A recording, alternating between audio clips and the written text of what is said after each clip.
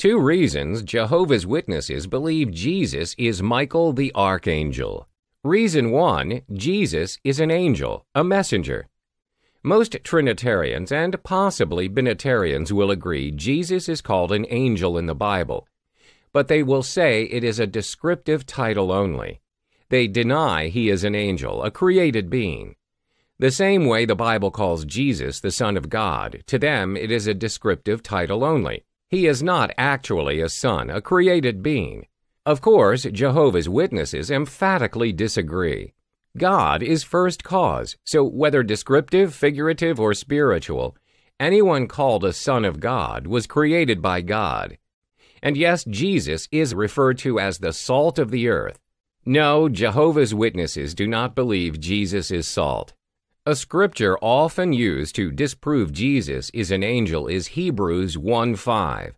To which one of the angels did God ever say, You are my son, today I have become your father? Is Hebrews saying angels are not God's sons? God is not their father? If God is not their father, who is? Jehovah's Witnesses believe Jesus is superior to the angels in authority and position in power, but not in nature. Thus, he has a name more excellent than theirs.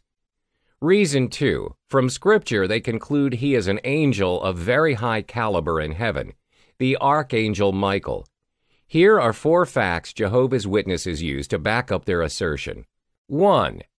Michael the Archangel, chief angel, is the highest angel in heaven. He stands alone. He does not belong to any group of angels. Michael is the only archangel in heaven because he is referred to as the archangel, which suggests there is only one. For example, the Holy Spirit, one Holy Spirit, the only begotten Son of God, one uniquely begotten Son of God, the devil, one chief slanderer, the Christ, one Messiah, the archangel, one archangel. Also, the term archangel is never found in the plural form in the Bible. 2. Daniel 10:13 does not speak of more than one archangel, chief angel. Daniel speaks of Michael as one of the chief foremost princes, rulers, or a prince ruler of the first rank who came to the aid of a lesser prince ruler. There are many royal rulers, princes in heaven, and many angels, messengers, but only one archangel, chief angel. 3. A comparison between Michael, the archangel, and Jesus. Michael and his angels battle with the dragon and his angels. Revelation 12:7. Jesus and his angels battle with the dragon and his angels. Revelation 19:14 through 16. Michael is the great prince, leader of Israel. Daniel 10:21. Jesus is the great prince, leader of Israel. Matthew 23:10. Michael intercedes for God's people. Daniel 12:1. Jesus intercedes for God's people. Romans 8:34, 1 Timothy 2:5. Michael speaks with an archangel's voice. Jude 9. Jesus will descend from heaven with the archangel's voice. 1 Thessalonians 4:16. Michael said to Satan at Jude 9, "May Jehovah rebuke you." Jesus, angel of the Lord, said to Satan at Zechariah 3:2, "May Jehovah rebuke you, O Satan."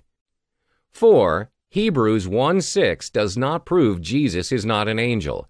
And again, when God brings his firstborn into the world, he says, Let all God's angels worship him. The word worship was wrongly inserted into that scripture. Why? Because God would never allow his angels to worship anyone. God is jealous over his worship. He will not share his glory with another, not even with Jesus, his son. Jesus said, My Father is greater than I. After his ascension into heaven, the Bible says the head of the Christ is God. Worship is to be given to God alone.